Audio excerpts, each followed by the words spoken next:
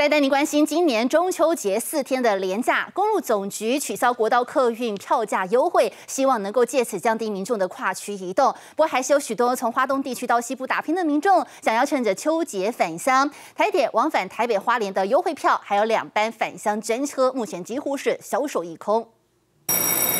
往返花莲的台铁各班次列车，只要碰上端午、中秋跟春节，几乎班班客满。虽然苏花改通车加上国道客运投入，往返花莲经常还是一票难求。中秋连假，台铁总共加开往返北花列车八个班次，加上花莲县府也有两班返乡专车，但目前车票都已经销售一空。